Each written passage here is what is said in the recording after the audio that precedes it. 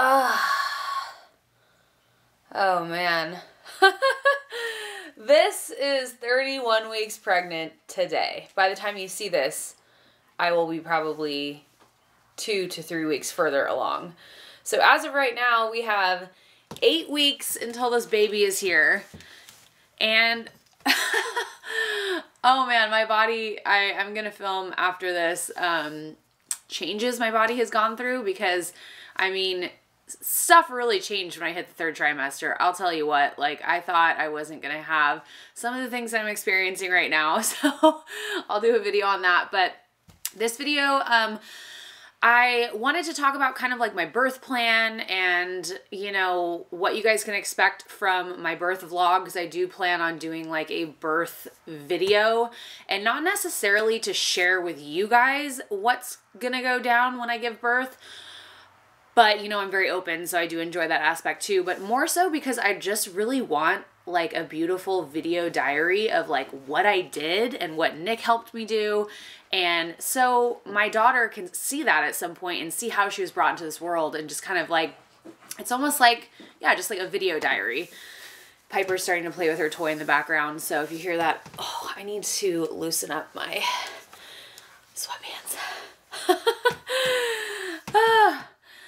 So, I have always been the type of person, and maybe you know this because you've probably followed, um, or maybe you have followed my, uh, all like my health stuff that I've shared with you guys on the internet about like you know low thyroid, um, uh, low testosterone, those sorts of things. But I'm the type of person that really appreciates Western medicine sometimes but I also feel that there's a time and a place. And for the most part, I'm somebody that prefers to treat things with natural remedies, um, more naturopathically.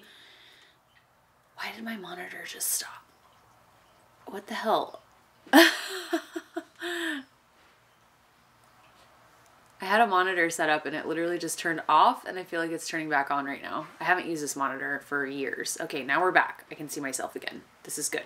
Just make sure I'm in focus. So, uh, anyways, I prefer a more naturopathic approach to a lot of things. Like, I feel like a lot of illnesses and ailments can be cu uh, cured with diet and fitness and herbs and tinctures and things like that. So, um, I, you know, kind of never really put a whole lot of thought into like how I would give birth until I we started trying. And so then I started watching a lot of birth vlogs and I watched some in a hospital, I watched some at home, I watched some in a birth center. So I wanted to kind of like get a good overall understanding. Excuse me for like leaning back, but my back is killing me and I kind of need to. Maybe I'll move this. Oh, if I can lean forward, move this mic a little closer. Okay. Oh shit. So I did uh watch a lot of vlogs just to kind of see like just to get a glimpse into that delivery room and what it was like and how it felt for me watching it, what I was saw. Um, I did also do the Built to Birth course. I'll link you to everything I talk about in this video down below if you're interested, so I don't have to say that every time. But it basically explains a lot of things about giving birth and like membrane sweeps and epidurals and the pros and cons and kind of just goes over all of these different things. And essentially, it's more from a natural birth standpoint. So, after seeing some vlogs and learning about an epidural, like honestly, before I even got pregnant, I didn't even know that an epidural like caused you to be basically not paralyzed, but you can't feel anything from the waist down, so you can't get up and move. You're basically kind of stuck in a hospital bed. And to me, as I thought more about it, I was like, the idea of being like laying just flat on a hospital bed, giving birth seems like one of the most unnatural things for me and unnatural ways to give birth. And then I realized like how much I love being in water and I was like anytime my like back hurts or like something hurts or I just want to feel refreshed, I take a shower or a bath, mostly a shower. I don't do baths a whole lot, but then that got me thinking maybe I want a water birth. So I started kind of exploring that option and realized that you really can't give do give birth in water at a hospital um, and a lot of birth centers don't allow you to either. So you either are choosing to be at home to do so or you're at a birth center that does support this um, way you want to give birth. So i also watched um, my ex-husband actually recommended that we watch uh, the the documentary the business of being born. So i watched that with nick and nick my boyfriend is a firefighter paramedic and from a medical standpoint, he said, well, there's a reason they do that. There's a reason they do this. So he said this is an extremely biased documentary. However, they do have some good points. So um, for me, after all of my research and stuff, and I'm honestly still doing research, but I have decided what I'm doing, but I just want to know everything anyway. So I'm still doing research and stuff, but I just didn't like the idea of an epidural. Um, there is supposedly fentanyl in epidurals. I don't know if that reaches your baby entirely or maybe not at all. Maybe it's such a small amount. I'm still doing research on it, so nothing I say in this video you should take as fact. Like, this is my own thing and what I'm doing, and I'm just sharing it with you.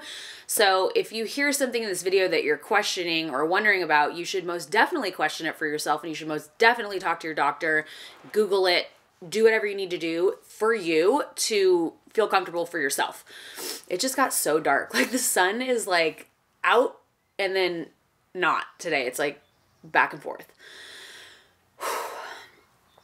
So, I don't know. I have always been the type of person that doesn't really like to take medicine if I don't need it. I try to fix things, like I said, with more water, exercise, diet. So, the idea of taking an epidural and taking meds through an IV or however, I didn't love that idea. I also didn't love the idea of being in a sterile hospital room because I am someone that is highly uh, like affected by my surroundings. So when the sun isn't out, I feel down and I'm not as happy or chipper. So when the sun is out, my mood is much different. So knowing that and kind of seeing some birth vlogs, I was just like, that looks horrible to like give birth in that type of setting for me. So like with the bright lights and nurses are leaving shift and then coming on and you might have someone different 15 minutes later and you don't really know why. And um I was asked at the birth center I chose why I decided that the birth center was for me. And obviously there's a lot of reasons for that and I kind of just went over some of them. But another thing for me was that I haven't had okay, so I've had two breast augmentations and I haven't had honestly the best experiences during those surgeries um, because I felt like I was being told what to do and not really given options a lot of the times. And I would see people putting things in my IV and I wouldn't really know what was going on. And I don't like that feeling. I'm very type A personality. I want to know what is going on. I want to know what the plan is. I want to know what you're putting in my IV. I want to know what to expect exactly. So the fact that the hospital, like the normal hospital system, for the most part, I'm not saying this is always true, but for me, I've experienced times where I felt uncomfortable because I didn't know what was going on or why something was being done. Here's a perfect example. So, the glucose test. You're supposed to do around 28 weeks of pregnancy, I believe. So I went in there to do that, and I'm sitting there, and it's this like sterile like environment like the most like unwelcoming environment in the world so i'm not super comfortable. So this girl puts down this like orange like drink like this in front of me. And she's like here you go you're gonna take this and then we'll wait an hour and we'll um do the test or whatever she said. And i was just like an hour? Like just all casual like oh you're just gonna chill in this boring ass hideous room for an hour. I was like oh no no no I, i'm so sorry but i can't do that today. I have an appointment. And i was like by the way like i don't understand like if you're testing glucose like obviously i don't know i'm not a medical professional i don't know anything about this but like why do you drink this like giant sugary thing and then test? Like what's what's the point of that if i'm supposed to be fasted when i come in here? And she couldn't answer me. Um she had no idea really exactly how it worked or why I was taking this drink or really what was in it. And I was just like, I'm not drinking a giant thing of sugar that's like colored. Like, I don't even know what's in that. Like, I need to do some research.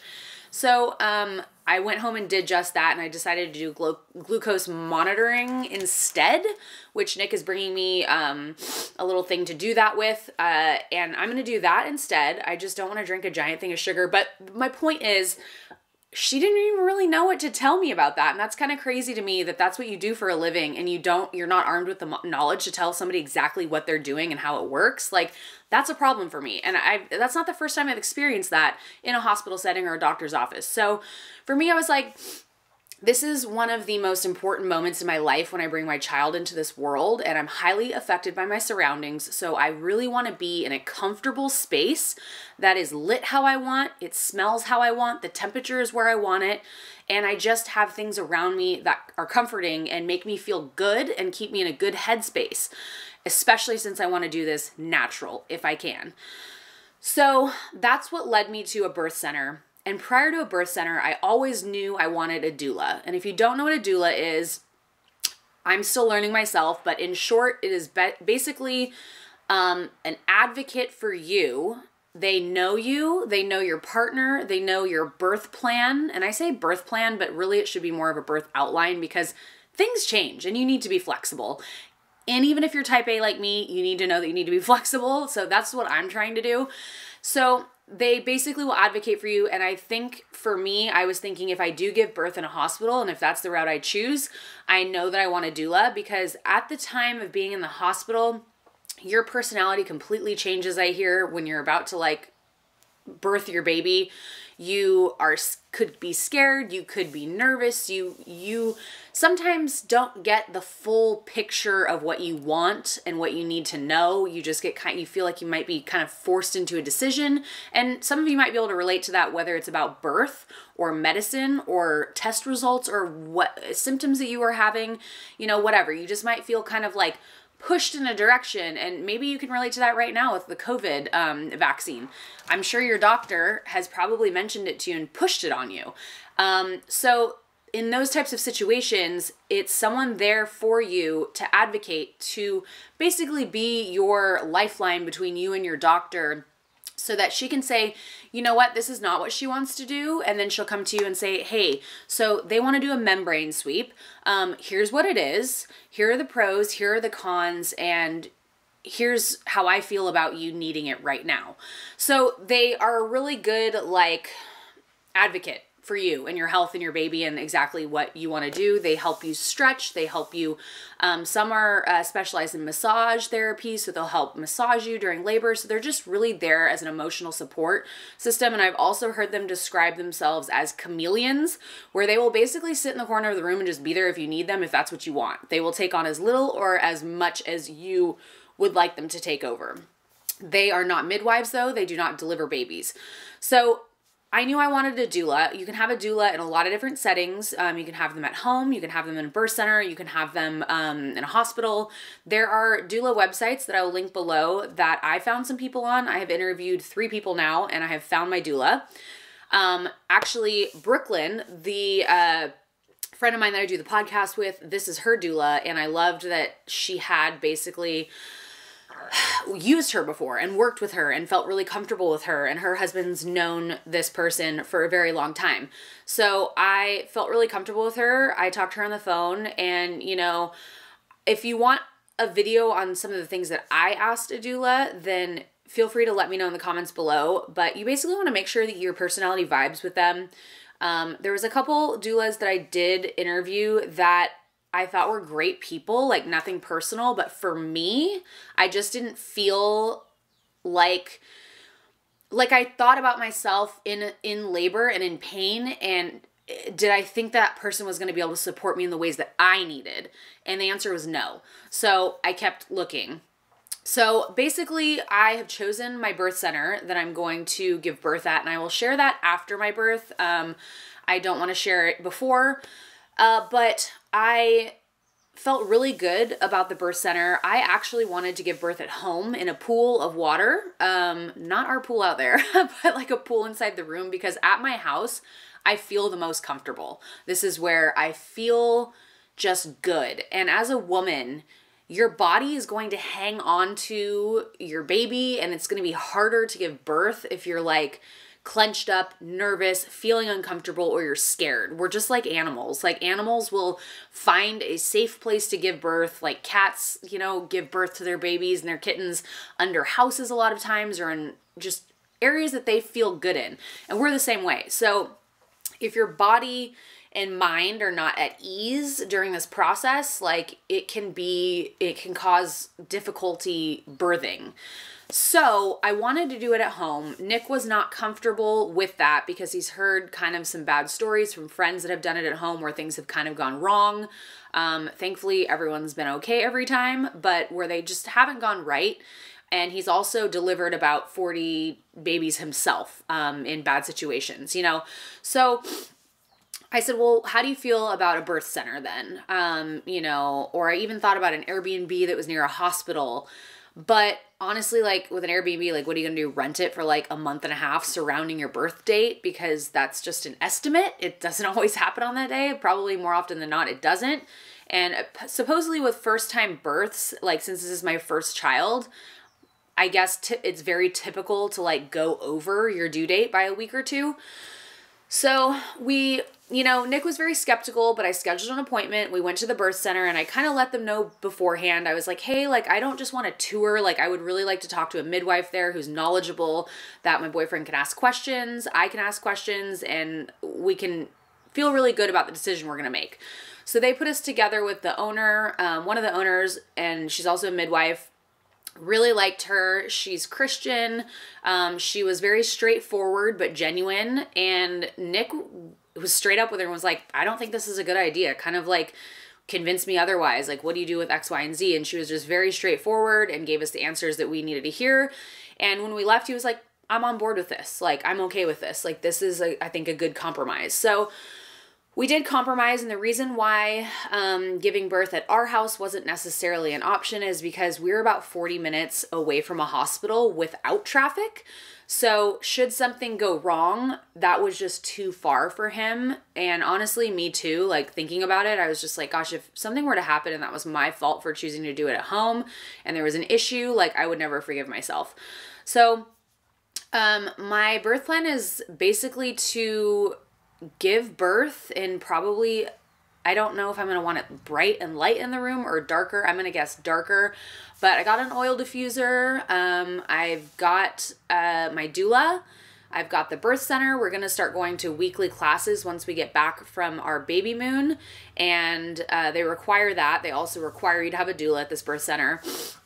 There's a big tub in the room. Um, and on my birth vlog, you guys will see the room and I'll share it with you but um, there's all sorts of equipment in there to squat. You can be in the tub. You can take a shower. So there's just a lot of things in there that just make it really cozy and homey. And one of the issues I had trying to find a birth center in San Diego that I liked was that a lot of them just looked like they were not super clean and it looks like I hate to say this because I freaking love thrift shops and Goodwill and stuff, but it honestly looked like they just went in and grabbed a bunch of linens and random furniture from Goodwill and put it in a room. And if I was to choose between a hospital or that, I honestly would have chose a hospital and brought a doula because I just knew that I wouldn't feel comfortable in the room.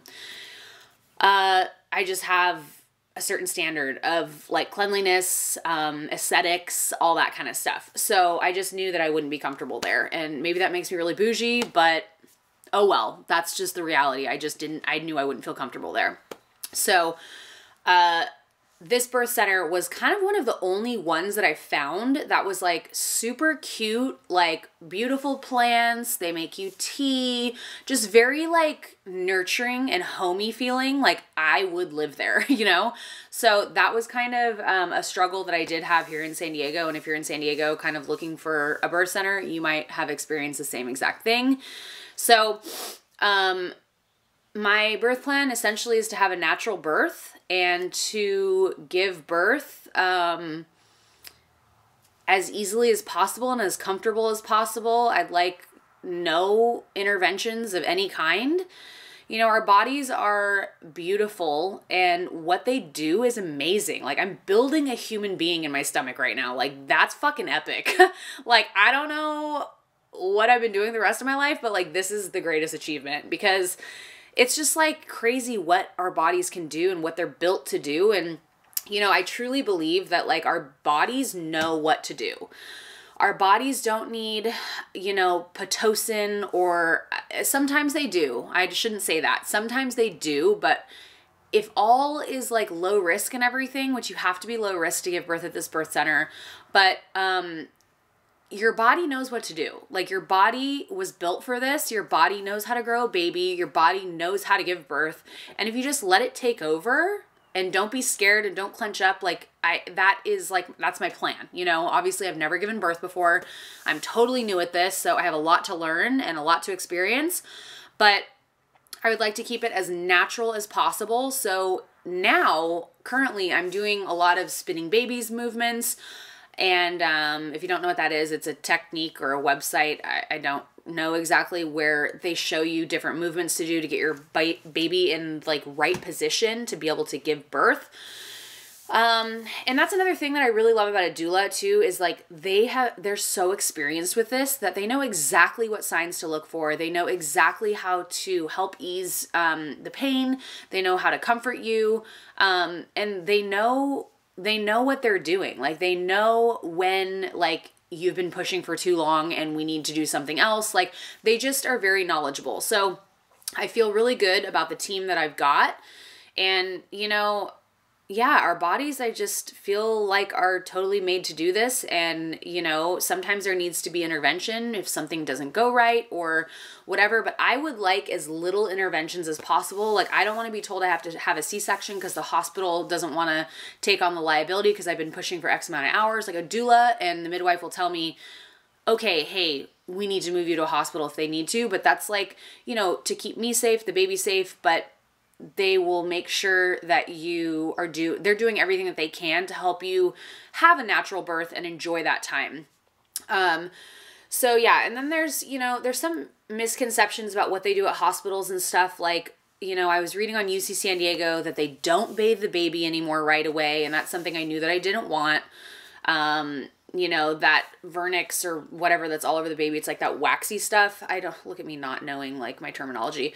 Um, supposedly, you know, that's really good for the baby to have on them. So, you know, and I saw another TikTok that was like, oh, like your baby's gonna experience like latex gloves touching them for the first time at a birth center. You just reach your ass down there and grab your baby if that's what you want to do. You know, as you do what works for you. But you know, there's just a lot of different everyone's so different. You know what I mean? So like whatever makes you comfortable, you should explore that option. But don't ever let anyone like try and pressure you into doing something you don't want to do or that you don't feel like you're going to feel comfortable doing. Uh, and that's kind of what I did. I just followed my heart. I was like, I don't want to be in a hospital. Like, that's not what I want. I don't want nurses coming in and out. I don't want an IV hooked up to my arm the whole time. Like, I don't want to be stuck in a bed. I want the option of a water birth. Um, who knows? Maybe I'm going to go into labor and I'm not even going to want to be in the water. I don't know. But I just feel really good about the decision that I that we've made to choose a birth center and a doula. So that's basically my birth plan. If you guys have any like words of wisdom or advice for me before I embark on the journey that is labor and birthing my child, please let me know. I'm sure uh, we've got a lot of pregnant ladies here that would also love to read your comments. So whether you had a hospital birth or an at-home birth or birth center or whatever, please share your pearls of wisdom below. Um, and if you guys think of any other videos that you want to see, I'm going to start pre-filming some stuff because I'm going to want some alone time with me and the baby once she gets here. So I'm going to try and pre-film some stuff. But let me know if you have any ideas or anything you want to see um, or any questions based on this video and I'll do my best to answer them. But um, again, I'm leaving some links in the down bar below for you. So check those out. And thank you guys so much for watching. And I'll see you in the next video. Bye.